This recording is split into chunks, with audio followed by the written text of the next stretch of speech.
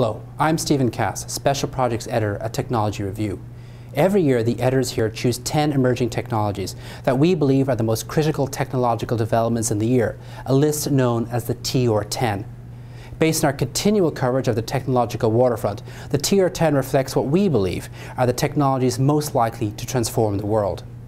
This year's TR10 technologies are to be found in critical fields such as energy, biotechnology, the web, and computing.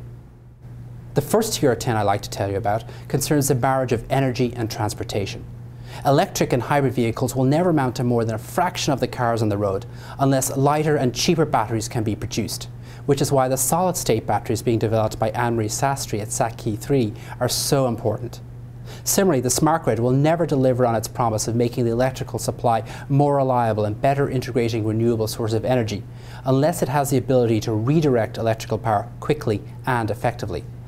Alex Huang of the NSF FREEDM Systems Research Center is using advanced power electronics to create a transformer that can reroute electricity as easily as the internet routes information. In biotechnology, the TR10s are part of an ongoing revolution driven by the cheap sequencing machines that have come on the scene in the last few years.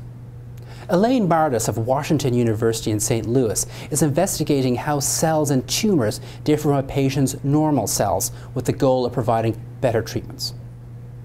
Steve Quake at Stanford is making sure that when we sequence an individual's DNA, we are getting the whole picture by properly separating and distinguishing between the two chromosomes we all inherit from our parents. And in a truly astonishing feat of genetic engineering, the J. Craig Venter Institute's Daniel Gibson is designing entire genomes on a computer and then turning them to real DNA that can be inserted into living microbes. Cloud computing is another revolution getting a boost from the TR10. IBM's Craig Gentry's system for making data in the cloud a lot more secure could greatly expand who uses cloud computing and what they use it for, creating new businesses and new applications. Meanwhile, Steve Perlman of OnLive has figured out how to use cloud computing to turn a regular smartphone into a $2,000 games console.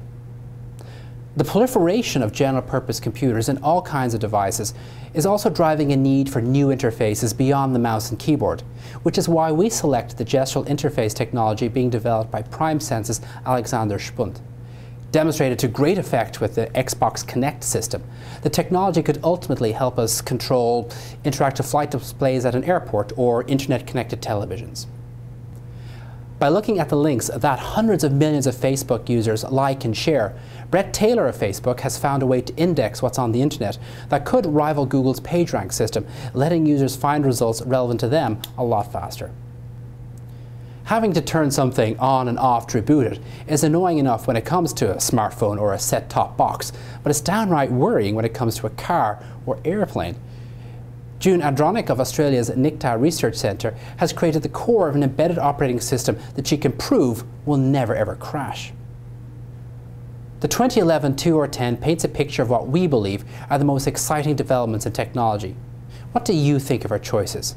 We'd love to hear your views either by commenting on the story themselves or by emailing me at stephen.cass at technologyreview.com.